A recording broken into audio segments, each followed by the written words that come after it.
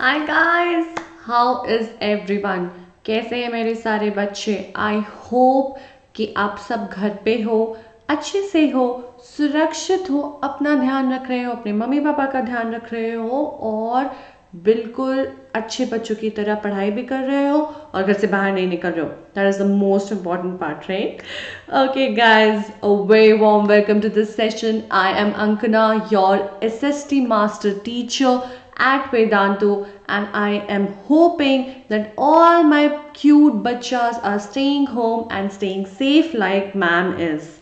Right? Okay, chalo. So let's get started with our session. This is our second session into the first war of independence 1857. Okay? यहाँ पे हमने एक session already कर लिया है। अगर आपको लग रहा हो कि ये मैम क्या बोल रही है, कहाँ से शुरू हो रहा है तो आपको क्या करना है? आपको पुराने वाले सेशन में जाना है, क्योंकि ये तभी पॉसिबल है कि आपको समझ नहीं आ रहा है कि मैम क्या बोल रही है, जब आपने पुराना वाला सेशन मिस कर दिया है which is session number one तो फटाफट से वापस जाइए और सेशन नंबर वन में देख कर आइए जहाँ पे हमने बात की थी इंट्रोडक्शन की, कैसे, कहाँ से शुरू हुआ था, कैसे ब्रिटिशर्स ने आकर के यहाँ पे ट्रेडिंग शुरू की थी and then after from they just came here as traders then they realise that no they could do more and they started expanding and what really ignited the fire among all the people, which led to this very first war of struggle against uh, Britishers for freedom of the country and how different different reasons were involved. So we looked at certain political causes. We also looked at certain socio-religious causes. So let's move forward today.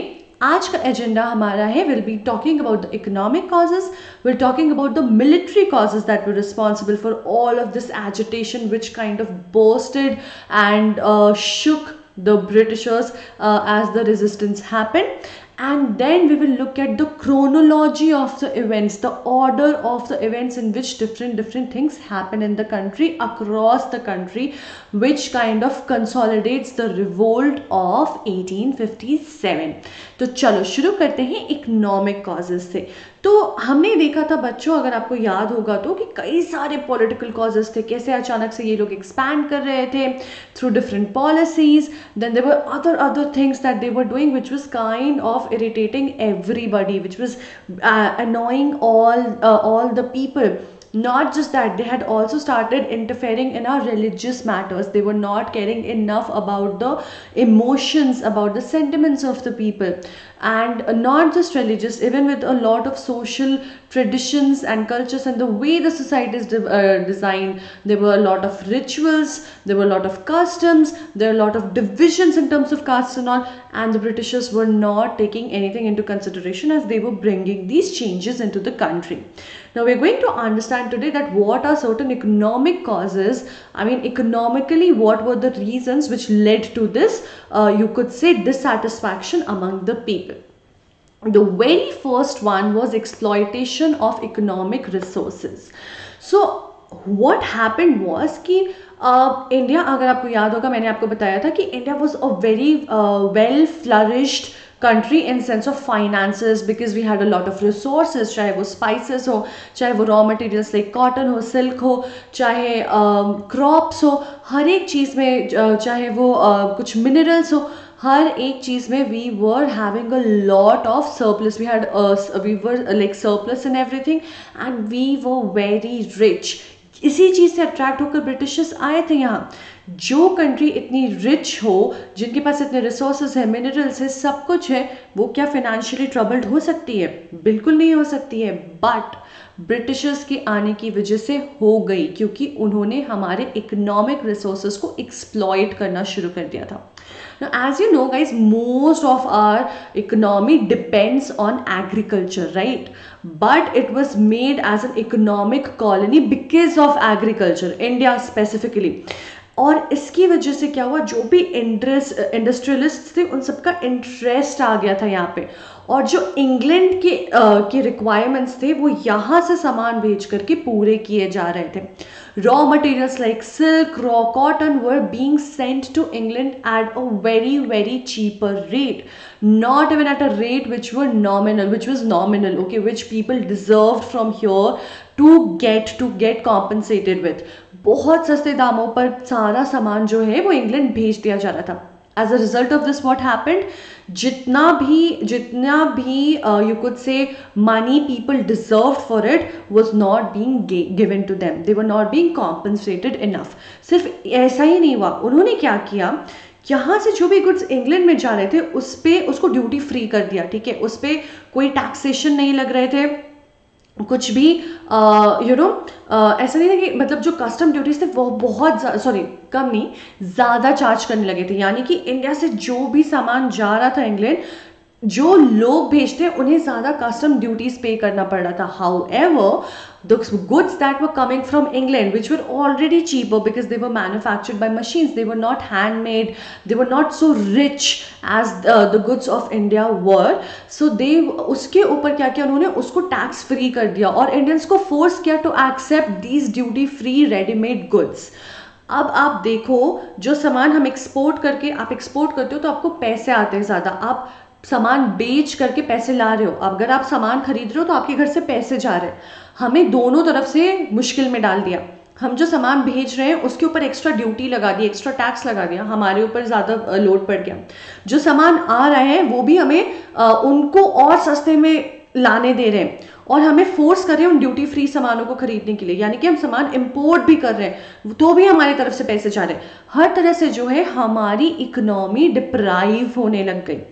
सिर्फ़ इतना ही नहीं artisans जो है वो बहुत ज़्यादा deprived थे, ठीक है? उनको बहुत ज़्यादा सफ़र करना पड़ा because artisans were completely depended on the patrons of India patrons are basically people who you can say support things financially patrons थे, जैसे कि किंग्स जमींदार्स उनको तो उनके पोजिशन से हटा दिया जाना था। The British overthrowing them तो अब उनके पास भी पैसे नहीं थे कि वो ऑटिशन से वो सारी चीज़ें खरीद सकते, जिनकी जो वैल्यू थी, जो आर्ट और कल्चर डिफाइन करती थी हमारे लिए।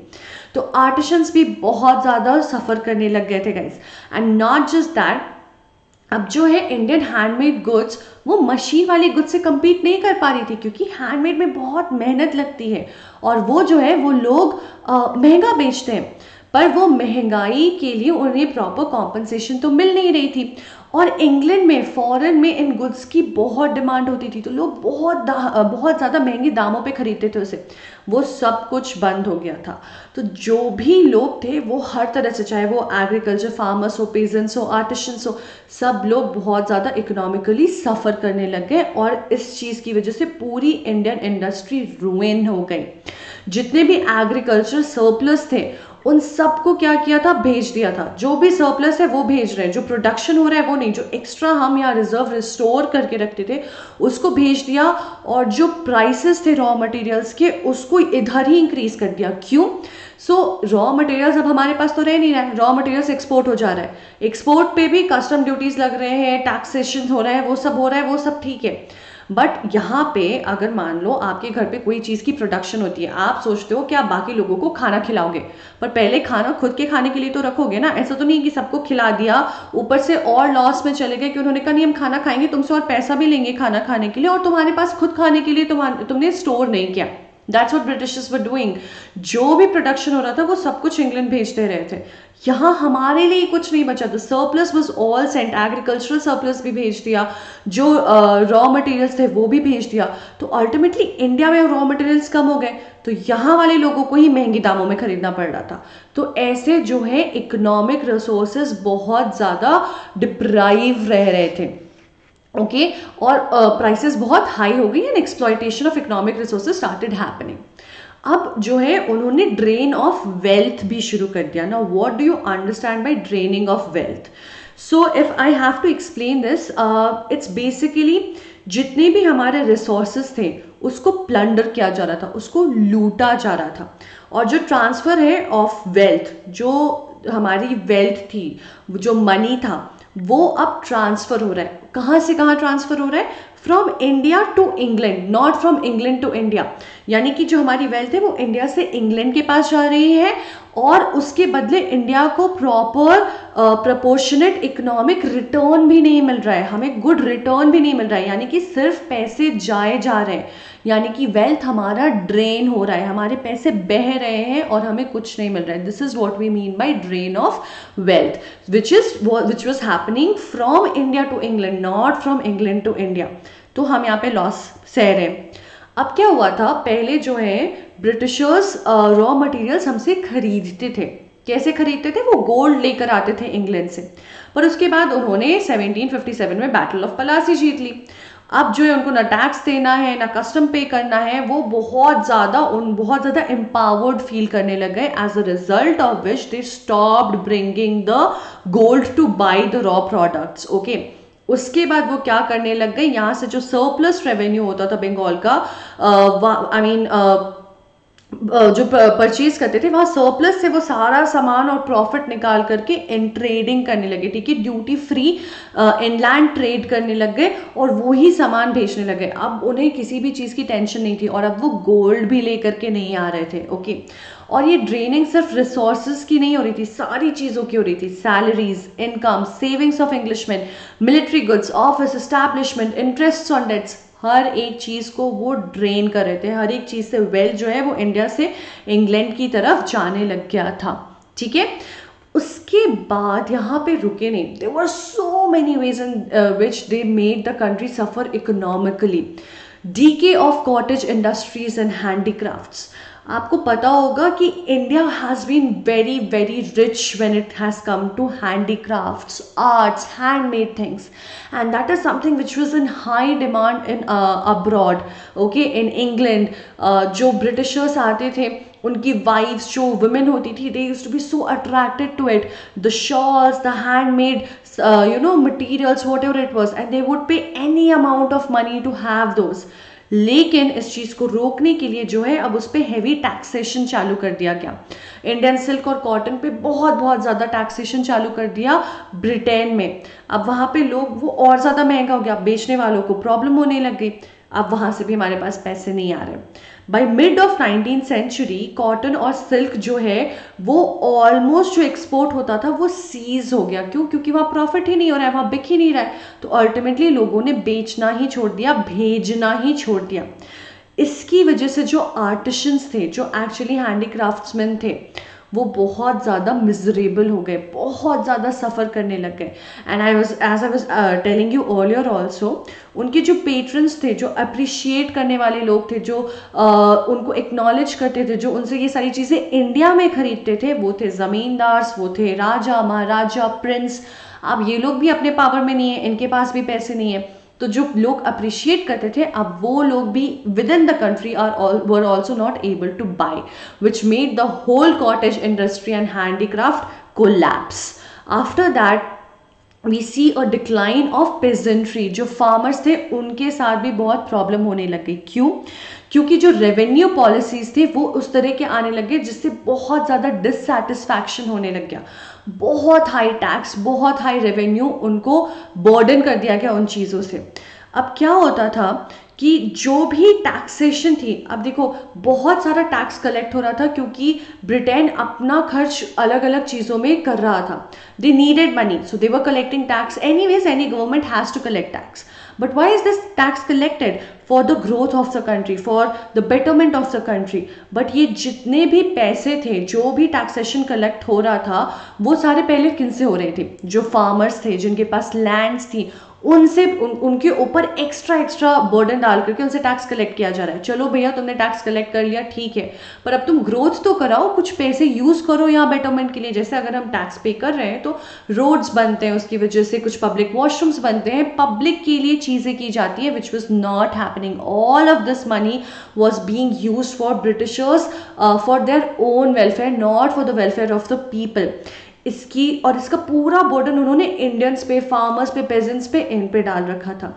As a result of this उन टैक्स को चुकाने के लिए लोगों को कर्ज लेना पड़ा। They were in dept and they were now, they had to start selling off their lands because they were not able to pay the tax और ब्रिटिशर्स इतने आसानी से जाने नहीं दे रहे थे। So in order to pay those taxes they had to borrow money और they had to sell off their lands अब जो ये पैसे बोरो कर रहे हैं, किन से बोरो करेंगे? क्योंकि इंडियंस तो सारे इकोनॉमिकल क्राइसिस में। So now people who are left are the merchants and the land owners who are now buying those lands and these are Britishers okay और पीपल ऑफ़ ब्रिटिशर्स अब ये लोग जो है दे वो very you could say very inconsiderate people and they were also replacing the old zamindars the old landowners the, the traditional landowners of india who used to understand the problem of the peasants now these people were very inconsiderate towards the sentiments problems and emotions of the people and their problems they did not used to care a damn about what wrong is happening they were only concerned about their tax their uh, money. And they were not at all uh, bothered about the sentiments of the people और जो लोग rent देने से fail कर जा रहे थे people who were not able to pay the rent were actually evicted from the land guys ऐसा नहीं है। पहले के जो ज़मींदार होते थे, जो इंडियंस होते थे खास करके, वो सोचते थे कि अच्छा ठीक है भैया, इन्हें प्रॉब्लम है, इन्हें रहने देते हैं, उनको सेकेंड चांस देते थे। No none of this was happening all these peasants who failed to you could say pay back the money और pay the taxes were actually being evicted उनको निकाल दिया जा रहा था वहाँ से। और उनकी ज़मीन छीन ली जा रही थी। And this was adding to the misery of all the peasants as well. इसके साथ साथ क्या होने लग गया? बहुत ज़्यादा अनएम्प्लॉयमेंट बढ़ने लग गई। अनएम्प्लॉयमेंट क्यों बढ़ रही थी? सो so, uh, जो ट्रेडिशनल रूलर्स थे उनको हटा दिया गया ठीक है? वो लोग क्या करते थे? वो लोग फाइनेंशियल सपोर्ट करते थे। किसको?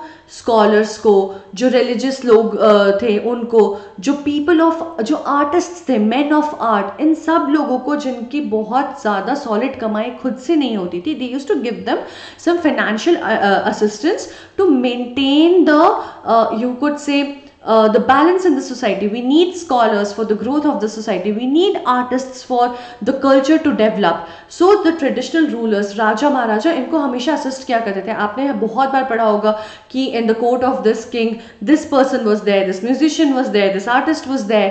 ये वो फलाना ढिमकाना बहुत सारे लोग होते थे और उन सबको financial support देते थे ये हमारे राजा जितने भी थे अब जो ब्रिटिशर्स आने लग गए, उन्होंने पहले तो राजाओं को हटा दिया। उसके बाद उनके साथ ये लोग भी अनएम्प्लॉयड हो गए। सिर्फ़ इतना ही नहीं, जितने बाकी लोग थे, जो एडमिनिस्ट्रेटिव सर्विसेज़ में थे, जो सोल्जर्स थे, जो जूरी जो मिलिट्री हर एक इंसान को अनएम्प्लॉयड बना दिया because now they were bringing in their own people okay and not just that जो लोग ऑलरेडी एम्प्लॉयड थे, उनको तो हटाया ही, और नए लोगों को ले भी नहीं रहे थे। इसकी वजह से जो है अनएम्प्लॉयमेंट एक को एक करके बढ़ती ही गई। उसके बाद जो है ये लोग बहुत ज़्यादा बिटर एनिमीज बन गए थे ब्रिटिशर्स के। और अगर आपको याद होगा मनी लैंडर्स और मर्चेंट्स जो थे, वो लोग सारा ज़मीन ले ले रहे थे अब, और वो लोग एविक्शन भी करा दे रहे थे। अब जो ये ज़मीन बचती थी वो कहाँ जाती? तो वो जाती थी ऑक्शन के लिए। वो ऑक्शन में जो भी सबसे ज़्यादा हाई बिडर है, वो वो ज़मीन ले जाता था। ठीक है हम ये आगे देखेंगे। सो so, वो जो ऑक्शन होता था उसमें जो सबसे ज़्यादा हाई बिडर है वो वो ज़मीन ले जाता था और इसकी वजह से और जो बर्डन है जो भी अब नए टेनेंट्स हैं उनके ऊपर बहुत ज़्यादा बर्डन बढ़ने लग गया था कि अगर वो टैक्स नहीं चुकाएँगे तो उनकी ज़मीन गई उनके हाथ से। उसके बाद अब जो है ब्रिटिशर्स ने रियलाइज़ कर लिया कि उनको जो है ऐसे क्रॉप्स चाहिए जो बहुत ज़्यादा उनको फाइनेंशियली प्रॉफिट करे, जैसे कि इंडिगो जैसे कि टी इन सब की प्लांटेशन से उन्हें बहुत ज़्यादा हेल्प मिल रही थी। ना indigo plantation any ways after the plantation हमने पहले भी पढ़ा है अगर प्लांटेशन इंडिगो का होता है तो क्या होता है, वो ज़मीन बंजर हो जाती है। वो अगले आप तीन चार साल तक उस पर कुछ भी नहीं उगा सकते हो, वो बैरन लैंड हो जाता है। But because it was so profitable people peasants were forced to plant those tea indigo and all of that but problem सिर्फ़ इतनी सी नहीं थी प्रॉब्लम उससे कई ज़्यादा बड़ी थी। ये जो लोग ये प्लांटेशन कर रहे थे they were being treated very in a very inhuman manner उनको बहुत ज़्यादा इल ट्रीटमेंट दिया जा रहा था। उनकी कंडीशंस बहुत ही बुरे थे। और उनको no matter if they wanted or not they were forced to cultivate Indigo और चलो ठीक है, तुमने इंडिगो कल्टिवेट करा दिया, ज़मीन बंजर हो गई at least pay them enough so that they're able to survive they were not even being paid enough crops तो चले गए, उसके साथ पैसे भी नहीं मिले। और अगर कुछ ऐसा हो गया कि पेजेंट्स व I mean like peasants refuse कि नहीं, हम ऐसा नहीं करेंगे। एज अ पनिशमेंट क्या करते थे? उनके सारे क्रॉप्स को डिस्ट्रॉय कर देते थे और उनके कैटल्स को ले जाते थे। They used to take away their cattles as well and that was very sad. This was making all the peasants suffer as well. Okay उसके बाद पॉवर्टी और फेमीन आ गया। अब क्या हुआ गैस कि जो you could say due to economic exploitation अब जो इतनी सारी एक्सप्लॉयटेशन हो रही थी, हर एक तरह से सब कुछ फॉल होने लग गया।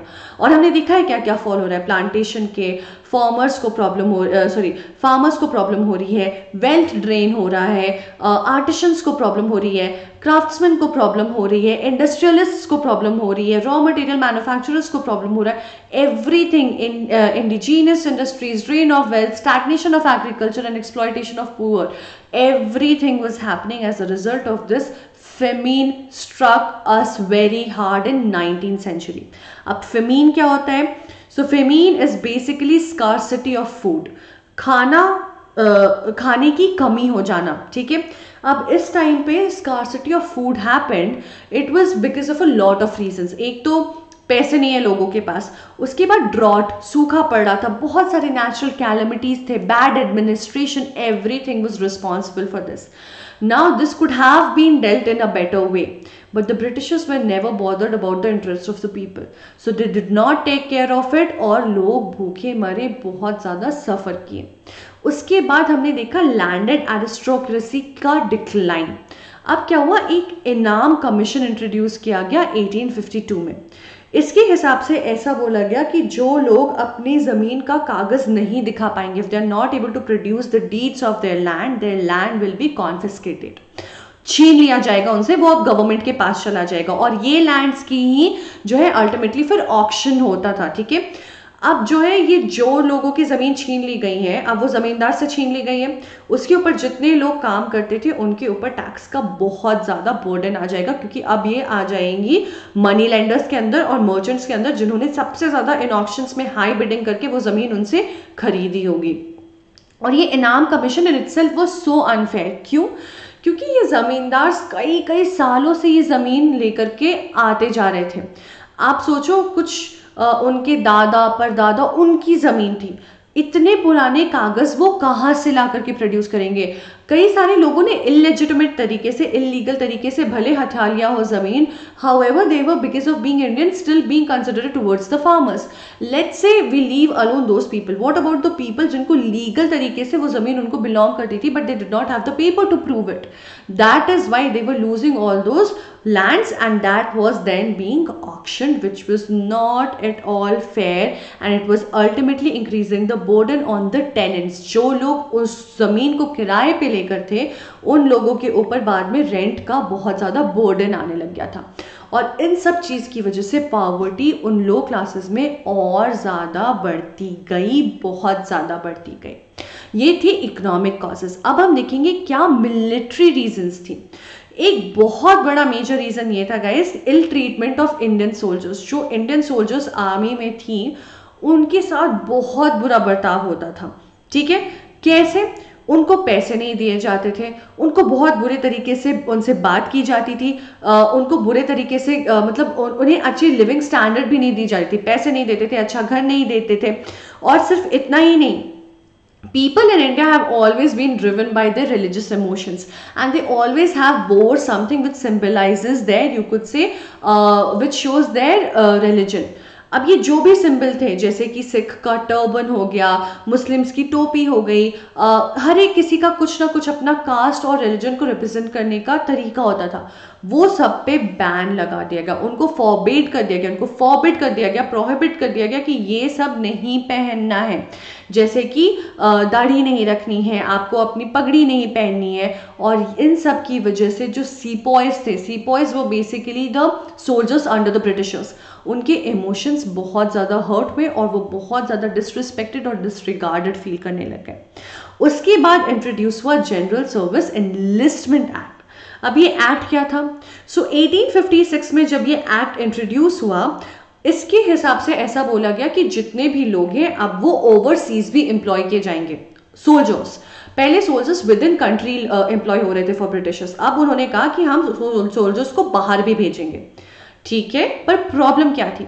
ब्राह्मण में ब्राह्मण्स जो थी, उनमें एक मान्यता थी दे हैड अ टैबू कि अगर लोग ओवरसीज क्रॉस करते हैं, अगर सात समुंदर पार जाते हैं तो वो अच्छा नहीं माना जाता माना जाता था। It was considered a bad thing among them that was the belief okay और लेकिन इसके अंडर उन सोल्जर्स को भी कॉल ऑफ़ ड्यूटी के लिए ओवरसीज तो ट्रैवल करना पड़ता। अब इसकी वजह से जो ब्राह्मण्स थे खास करके उन्हें ऐसा लगने लग गया कि ये एक डेंजर है उनके कास्ट के लिए। They started looking at it at a danger towards their caste और उनके कास्ट और रिलीजियस सेंटिमेंट्स बहुत ज़्यादा हर्ट होने लगे, जिसकी वजह से उनके अंदर बहुत ज़्यादा एक रिजेंटमेंट की स्ट्रॉन्ग फीलिंग आ गई।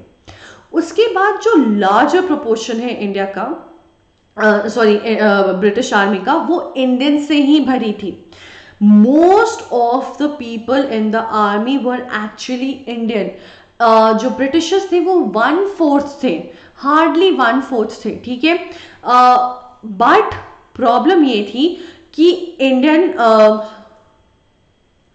sorry one second so अब जो डलहाउजी थे लॉर्ड डलहाउजी उन्होंने ऐसा बोला कि अब जो है हम ब्रिटिशर्स को ज़्यादा लेंगे इंडियन आर्मी में और इंडियंस को कम लेंगे। इंडियंस के पास ऑलरेडी बहुत अनएम्प्लॉयमेंट है, ठीक है? और ज़्यादा से ज़्यादा इंडियंस भरे हुए थे इंडियन आर्मी में। लेकिन अब लॉर्ड डलाउजी ने कह दिया है कि it is it was very easier for Indian sepoys to take arms against the Britishers because Lord Dalhousie said that okay fine there have been a lot of Indian people in the army but we are going to replace them with the Britishers they wanted to now increase the number of Britishers in the army. So that agitated the people a lot और उसकी वजह से जो army man थे, उन लोगों ने ही decide किया सोल्जर्स ने ही डिसाइड किया कि अब वो हथियार उठाएँगे अपने ही एम्प्लॉयर के अगेंस्ट उसके बाद उनके प्रमोशन के chances were very bleak very weak you could say क्यों?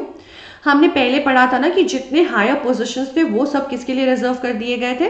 ब्रिटिशर्स के लिए। सिर्फ़ इतना ही नहीं गाइस इसके साथ साथ उन्होंने क्या किया था? जो ऑलरेडी लोग थे अच्छे पोजीशन पे, जब जमींदार sorry when rulers were there when Mughals were there when other kings were there उनके अंडर जो अच्छे पोजीशन पे सर्व कर भी रहे थे, जो अब ब्रिटिश आर्मी का हिस्सा हो गए थे, वो भी सूबेदार के लेवल के ऊपर से के ऊपर नहीं जा सकते थे। अगर आप आर्मी में हो भी तो आपका फ्यूचर बहुत अनसर्टन है which was now creating more and more you could say emotion of dissatisfaction among the soldiers among the sepoys then there was deprivation of allowances ना जैसे जैसे ब्रिटिशर्स uh, फैलते गए ठीक है इंडिया uh, में और ये हेल्प किसकी हेल्प से कर रहे हैं? ये इंडियन सोल्जर्स की हेल्प से ही कर रहे हैं। जैसे जैसे ब्रिटिशर्स फैल रहे हैं जो कंडीशन है सोल्जर्स का, वो और बुरा होते जा रहा है बेटर होने की जगह। अब ऐसा था कि उनको ज़्यादा एक्स्ट्रा पेमेंट चाहिए था। क्यों? क्योंकि उनकी जो प्लेसमेंट है, पहले वो अपने घर के आसपास आर्मी में रहते थे। अब ब्रिटिशर्स ने क्या करना शुरू कर दिया? अब क्योंकि अब उनकी एक्सपेंशन ज़्यादा हो गई है, वो उनको कहीं पे भी प्लेस करें। यूपी का बंदा मद्रास में आकर के हैं, मद्रास के लोग महाराष्ट्र में जा कर के हैं। लोग अपने घर से दूर दूर रहने लग गए थे, ठीक है?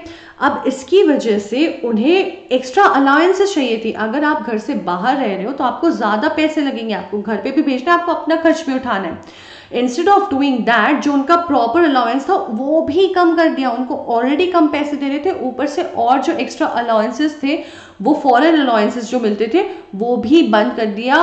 वो कोई एक्स्ट्रा पेमेंट नहीं मिल रही थी लोगों को। चलो लोग फिर भी शायद एडजस्ट कर रहे थे कि ठीक है, जो भी मिनिमल हमें पैसे मिल रहे हैं, हम उसमें एडजस्ट कर लेंगे। अब जब वो लोग घर से दूर रहते थे तो they used to write letters to their people that was the only mode of communication with the family at that time and that used to be free for the sepoys क्योंकि भाई सोल्जर है, वो country को government को सर्व कर रहा है, वो इतना तो डिजर्व करता है। लेकिन पोस्ट ऑफ़िस एक्ट ऑफ़ 1854 ने इसके ऊपर लगा दी रोक। जो प्रिविलेज ऑफ़ फ्री पोस्टेज था, जो सोल्जर्स को दिया गया था, वो उनसे छीन लिया गया। अब उन्हें पैसे भरने पड़ते और इसकी वजह से उनके सेंटिमेंट्स बहुत ज़्यादा हर्ट हो गई। Then there was faulty distribution of troops जो डिस्ट्रीब्यूशन था ट्रूप्स को जो प्लेस किया गया था, वो बहुत फ्लॉड था। तो कुछ स्ट्रैटेजिक कुछ ऐसी जगह थी जो स्ट्रैटेजिकली बहुत ज़्यादा इंपॉर्टेंट थी, जैसे कि दिल्ली, अलाहाबाद। इन सब जगहों पे क्या हुआ था? सिर्फ़ इंडियंस प्लेस थे। ब्रिटिश आर्मी वहाँ थी ही नहीं। इसके साथ साथ इंग्लैंड जो है, वो बहुत सारे सेवरल वॉर्स में बाहर एंगेज कर रही थी। आप देखो कि आगे हम पढ़ेंगे in the next slide they were different different wars that these people were engaging in Afghan के साथ पर्शिया के साथ मल्टीपल वॉर्स चल रही थी इनकी। तो इनको अपनी आर्मी वहाँ पे चाहिए थी तो ये इनका ध्यान वहाँ लगा हुआ था। तो ये जो विद इन द कंट्री ये जो स्ट्रैटेजिकली इंपॉर्टेंट प्लेसेस थी, जैसे कि दिल्ली, इलाहाबाद, यहाँ पे सिर्फ़ इंडियन सोल्जर्स थे। तो इसकी वजह से इन इंडियन सोल्जर्स ने रियलाइज़ किया कि इनको ब्रिटिशर्स पे अटैक करना आसान होगा उनके अंदर हिम्मत आ गई। इसके साथ साथ इस चीज़ को और किस चीज़ ने इंक्रीज कर दिया? So they were very confident कि uh, जो ब्रिटिशर्स हैं क्योंकि ज़्यादा इंडियन लोग थे आर्मी में, क्योंकि इन सम स्ट्रैटेजिक प्लेसेस पे सिर्फ़ इंडियन थे, उनको एक कॉन्फिडेंस आ गया कि ब्रिटिश जो है, वो इस कंट्री को कंट्रोल करने के लिए उन पे बहुत ज़्यादा डिपेंडेंट है। और इस कॉन्फिडेंस के साथ they decided to actually strike back to the Britishers अब जो है ये जो वॉर्स हो रही थी जैसे हमने डिस्कस किया Afghan war Persian war Punjab war Crimean war Crimean war ये सारे वॉर पे दे वर फेसिंग फेलियर और यहाँ पे ब्रिटिश ज़्यादा है इंडियंस फिर भी कम है. More importantly the British army whether it is with the Indians or without the Indians they were failing failures they were facing failures Now that was giving a sense to the people in the country, the sepoys especially, कि इनकी army week पड़ रही है. इसको और ज़्यादा affirm एक और चीज़ ने कर दिया बंगाल और बिहार के जो संथाल ट्राइब्समैन थे जो ट्राइबल एक you could say Santhal basically tribal sector को uh, एक ग्रुप uh, है उसे रेफर करते हुए बोला जाता है। इन लोगों ने क्या किया था? ब्रिटिशर्स को हरा दिया था। उनके साथ लड़ाई हुई थी और उनको हरा हरा दिया था इन लोगों ने। अब जो है ब्रिटिशर्स ने ओवर द पीरियड उनको सप्रेस करके कंट्रोल में ले लिया था। पर एक मेजर जो उनको यू कुड से फेस करना पड़ा था बैकलैश वो ये था कि लोग इसके पहले सोचते थे ब्रिटिशर्स आर इनविंसिबल उनको हराना बहुत डिफ़िकल्ट है, नामुमकिन है. अब वो जो बिलीफ वो एक डर, एक फियर था ब्रिटिशर्स के लिए लोगों के मन में, वो चला गया. दे लॉस्ट दैट क्योंकि अब ट्राइब्समैन ट्राइबल लोगों ने उनको हरा दिया था. इसकी वजह से अब लोगों में सिपॉइस में बहुत ज़्यादा कॉन्फिडेंस आ गया कि अब वो ब्रिटिशर्स को आराम से हरा सकते हैं। ठीक है गाइज़ सो इन सब चीज़ों की वजह से उनमें बहुत ज़्यादा कॉन्फिडेंस बिल्ट हो गया कि ज़्यादातर वही है लोग, अब ब्रिटिशर्स ज़्यादा इन्वेंसिबल नहीं है, हर जगह फेलियर फेस कर रही है और इन सबको और किस चीज़ से बढ़ावा मिल गया था? ब्रिटिशर्स और क्या गलती कर रही थी? वो जो उनके अपने लोग जो इतना ज़्यादा सपोर्ट कर रहे थे इंडियन लोग ब्रिटिश आर्मी में रह करके, उनको बहुत कम पैसे देते थे। The wages for the Indian sepoys were very very and inadequate to maintain their families चलो, अगर ऐसा होता कि सबको कम पैसे मिल रहे हैं तो लोग शायद बुरा नहीं मानते। लेकिन जो ब्रिटिश लोग थे जो the Britishers in the British army the English people in the British army वो paid at times higher than the people who were suffering because of getting so low wages So that agitated the people to another level. And these were the political uh, reason. Uh, sorry. So now we uh, know what were the political, social, religious, economical and military reasons for the people to come together and give that one very strong push back to the Britishers. So guys, with this we have understood the causes. Now we are going to look at the chronology of events. Now this is very important for you to remember. You do not have to absolutely memorize it, not at all. ये कुछ important dates हैं। हमें ये event list समझने में help होगी और हमें याद रहेगा अच्छे से अगर हमें ये ध्यान रहे कि एक के बाद एक क्या इवेंट्स हुए थे। आपके लिए ये पूरा चैप्टर बहुत आसान हो जाएगा। अगर आप समझ जाओगे कि ये किस ऑर्डर में चीज़ें हुई हैं। क्योंकि one thing led to the other everything is interconnected and that's why we need to understand what led to what so February 26 1857 में सबसे पहले. So this is what describes the whole revolt of 1857 as a whole the order of events सबसे पहले February 26 और 1857 में जो soldiers थे बहरमपुर बंगाल के, उनके अंदर हलचल मची अनरेस्ट हुए। वो लोग शुरू हुए, उन्होंने शुरू किया you can say the revolt ये रिजेंटमेंट जो है, वो मंगल पांडे आपने ये मूवी देखी होगी, Mangal Pandey is a well renowned person from the past who was who had a great role to play in 1857 वाला रिवोल्ट उन्होंने रिजेंटमेंट शुरू किया, उनके अंदर जो आग थी उसको निकाला एजिटेशन को निकाला और अपने साथ कई सारे सोल्जर्स को लेकर आए। और ये शुरू हुआ मे 9 1857 में विथ 85 सिपोइज एट मेरिट पे। मेरिट में भी शुरू हुआ। आप देखो पैरेलली थोड़े थोड़े दिन में हर जगह कुछ ना कुछ हो रहा है। फिर मई 10 1857 को मेरठ के जो सोल्जर्स थे, वो खुल करके ब्रिटिशर्स के अगेंस्ट लड़ने लग गए। और मई 11 में जो आउटब्रेक्स थी, वो पहले मेरठ से शुरू हुई and it started spreading out in Delhi Firozpur Bombay Bareilly Aligarh et cetera Mughal emperor जो थे, उन लोगों ने भी वापस अपनी सीट वापस जमा ली। उन्होंने कहा, हम वापस से एम्पर हैं। Because they got the support from the sepoys and they felt confident so however had lost their you could say title now again claim them to be the emperor ये सब चल ही रहा था तभी जून 1857 में uprising at Gwalior Bharatpur Jhansi Allahabad and Faizabad was faced and then moving on in August 1857 the same uprising लोग वापस वहाँ पे उठ करके आए। कहाँ पे? इंदौर, महाव, सौगर और झेलम एटसेट्रा इन सारे एरियाज़ में। ना this is still August September 1857 में अब जो है, अब गवर्नमेंट के जवाब देने का टाइम आ गया। उन्होंने छह महीना बहुत झेल लिया। Now they started answering back उन्होंने सबसे पहले दिल्ली को वापस कैप्चर किया, क्योंकि वो कहीं ना कहीं सेंटर थी। वहाँ से बहुत ज़्यादा पावर मिल रही थी लोगों को, वो मुगल्स के लिए सेंटर थी। इनके लिए तो बंगाल थी पहले। नवंबर 1857 में उन्होंने defeat of British at Kanpur happened so although they had one victory but 1857 नवंबर में they had a defeat at Kanpur also so that was not giving an edge to them over the other protests और revolts that were happening December 1857 1857 में Britishers ने कानपुर वाली चीज़ को control में ले लिया। उन्होंने कहा, इतने नहीं उछल सकते तुम। दे वापस से अगेन कैप्चर्ड कानपुर और यहाँ पे टाटिया टोपे का बहुत बड़ा रोल था, वो वहाँ से भाग गए। ठीक है? मार्च 1858 में उन्होंने क्या किया?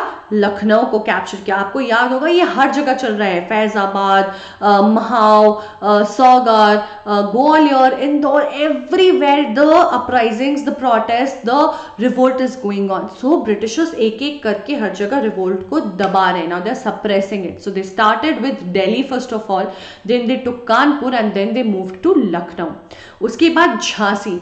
रानी झांसी की वजह से झांसी भी बहुत ज़्यादा एजिटेटेड थी और बहुत स्ट्रॉन्ग टक्कर दे रही थी ब्रिटिशर्स को।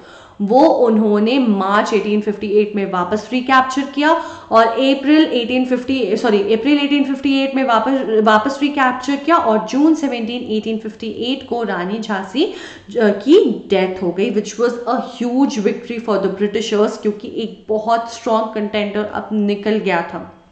देन इन जुलाई से दिसंबर 1858 में ये पूरा पीरियड उन्होंने अपनी अथॉरिटी को वापस इस्टेब्लिश करने में लगाया उन्हें काफ़ी समय लग गया ये करने में एंड फाइनली इन अप्रैल 1859 में उन्होंने वापस टाटिया टोपे को कैप्चर करके हैंग कर दिया to death these are the events we have understood it. We'll uh, talk about it more in the next session.